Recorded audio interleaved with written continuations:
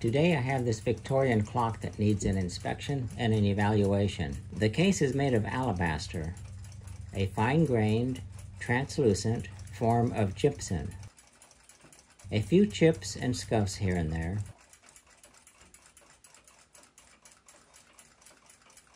A break here that has been repaired. Alabaster is often carved and fashioned into ornaments, tombs, and clock cases. It's a rare eight-day French mantel clock dating back to around Napoleon III, the Second French Empire. Original tooling marks on the bottom of the base, and it looks like a couple of letters were scratched in later. These round, dark, stained spots are where four feet were mounted at one time. It's a highly sought after design dates to possibly sometime around 1870. The clockworks have come to me in several boxes. A cast metal ornament.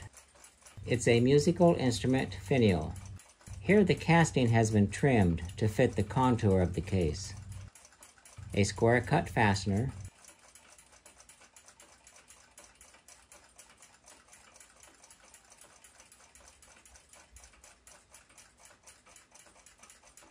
This irregular seam line in the casting, it's probably there from a crack that was in the casting when it was poured.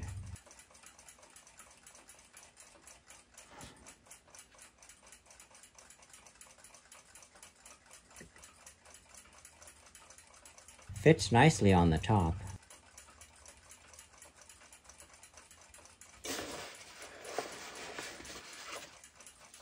Front bezel, and back mounting plate.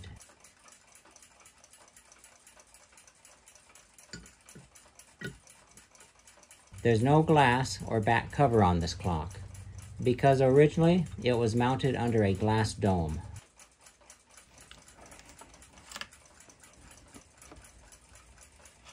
The pendulum on this clock is a hollow casting of a cupid, most likely pot metal. The finish on it looks like gold paint.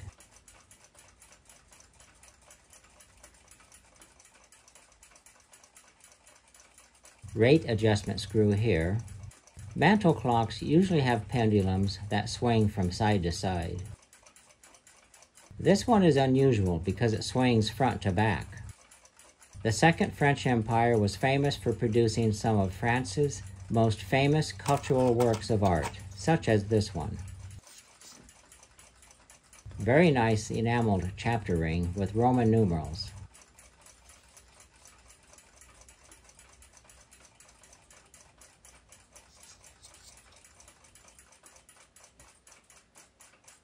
The mainspring looks new.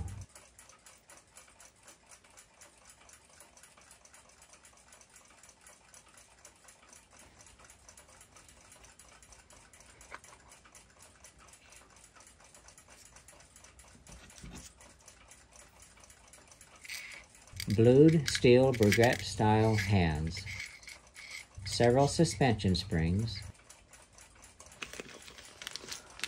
some miscellaneous parts,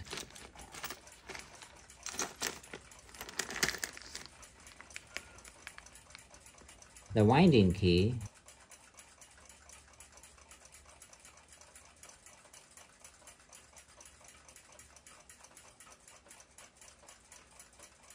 Movement looks fairly intact.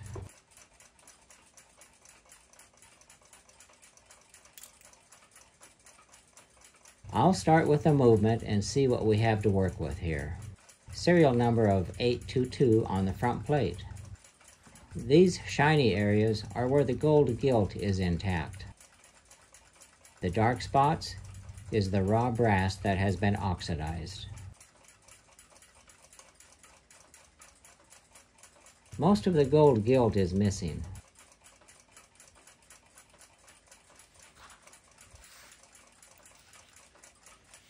Back plate is missing a lot of the gold gilt as well.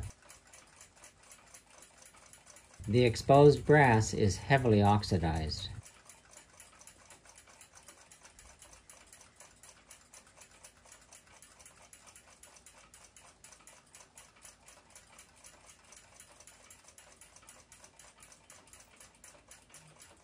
Matching serial number to the front plate.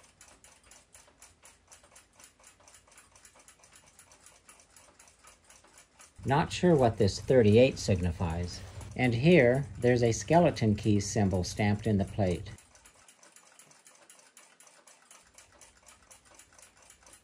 These words here are French, and they mean escapement patented. This trademark shield of an eagle holding an anchor or double arrow, and the letters FOT belong to the maker named Eugene Farcot. The crutch is a little loose on its shaft.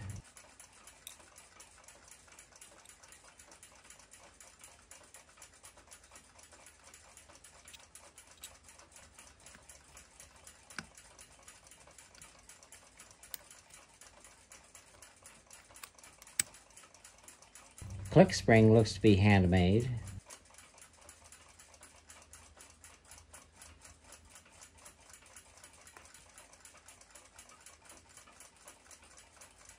Click spring screw.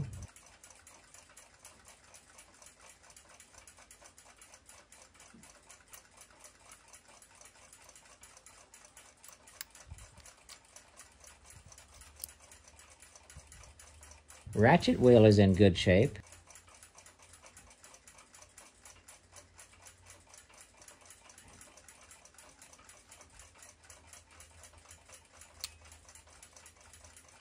Hour wheel looks to have been gold gilt at one time.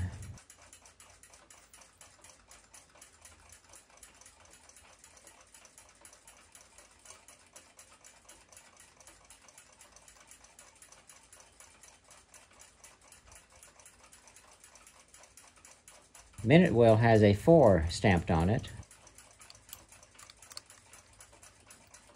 Cannon pinion Mainspring arbor needs a bushing in the plate.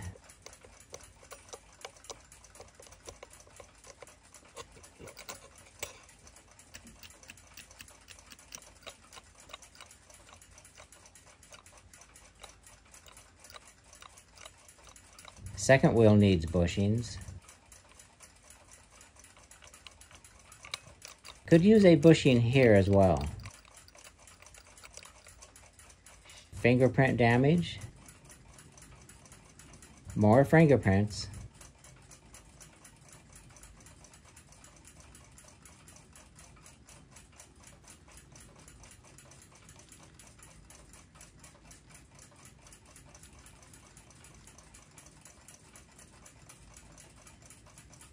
fingerprints here,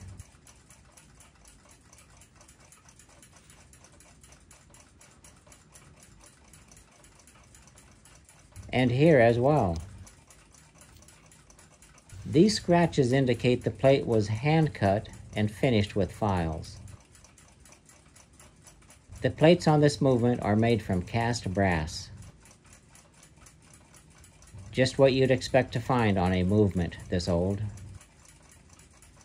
It would have been cut and handworked. Using a similar frame saw such as this, made from hickory, steel, and twine. Here's another frame saw made of all steel. This is a small keyhole saw made of soft maple and steel. These were the tools of a clockmaker back when this movement was made. A cold brass repair from some time in the past. Loose pivot hole here.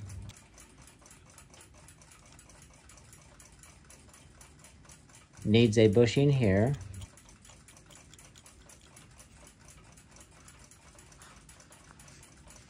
Excess play in the mainspring arbor and second wheel can cause binding on these French movements. Mainspring barrel has a lot of side-to-side -side movement. It should have bushings installed.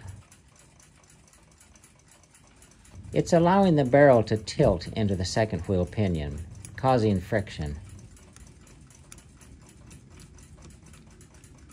This is Farcot's patented double escape wheel chaff cutter right angle escapement. It provides a front to rear motion of the pendulum. You don't see these two escape wheel movements very often.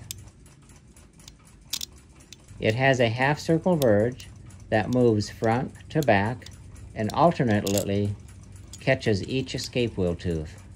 Farcot clocks of this type are very desirable and well worth restoring properly.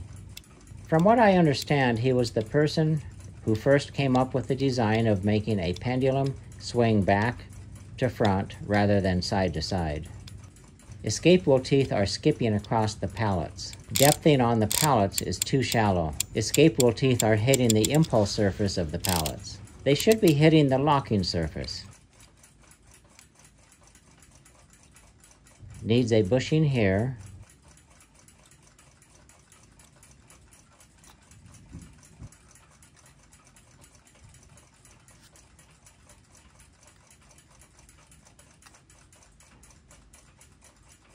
These pits indicate a cast brass piece, a matching four stamp.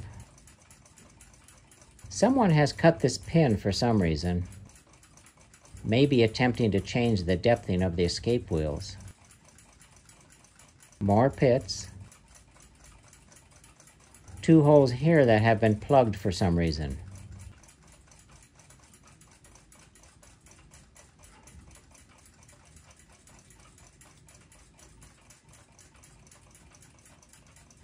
Fingerprint damage on the inside of the plate. Second wheel.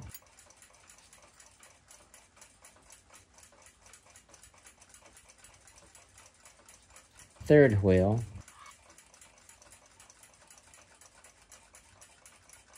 Nice, another matching four stamp.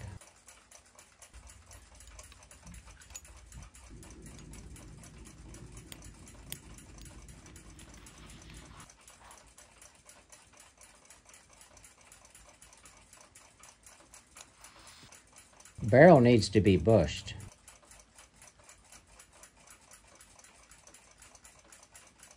The seam where the two pieces of brass were soldered for the barrel.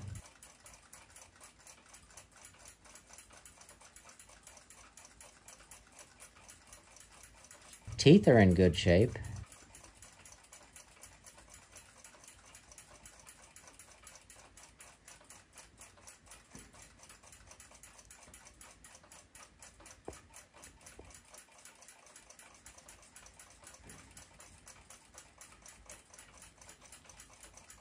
Matching serial number on the barrel cap and barrel. Someone has cleaned this. Barrel hook is nice and snug. These bearing surfaces are scored. They should be polished.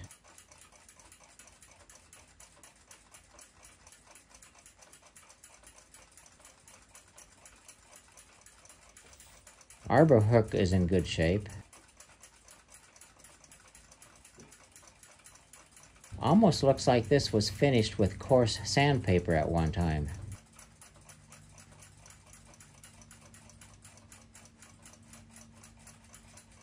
Square winding shaft is rolled over. This is caused by using a key that's too big. Given time, the square shaft will need to be replaced.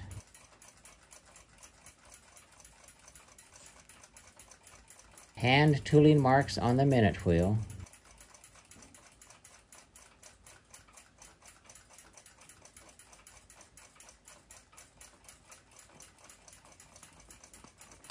And another matching 4 stamp. Indexing tool marks here. Probably when the gear teeth were cut. Two inspection scribe marks left behind from the person making the gear cuts.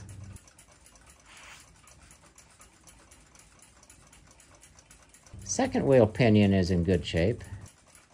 This pivot is heavily scored should be dressed or repivoted. Probably ran for years without any servicing.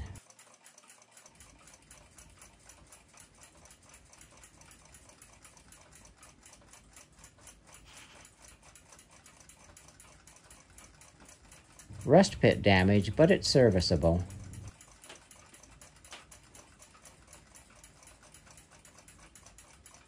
Escape wheel teeth are actually in good shape.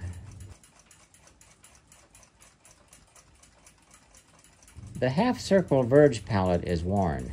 Dust on the escape wheel teeth has worn the contact surfaces. Best to deal with this last. It'll probably work okay once the rest of the movement is restored. Taking a closer look at the escape wheel cock, you can see where the two holes were plugged. The mounting hole has been egg-shaped, possibly attempting to increase the depth of the escape wheel teeth to the pallet. Pivot hole looks like it was tightened up by using a hollow punch on the back side. The cock for the pallet arbor. It's also made from cast brass and has a matching 4 number on it. I've assembled the clock, applied a little hand pressure to the main wheel just to see how it runs. It runs for about a minute, but quickly stops due to all the wear in the movement. The movement will need the pivots reworked and bushings installed, then set up correctly in order for it to operate again.